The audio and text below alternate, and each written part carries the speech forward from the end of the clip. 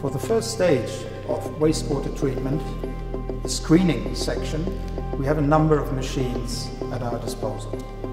Bar screens, drum screens.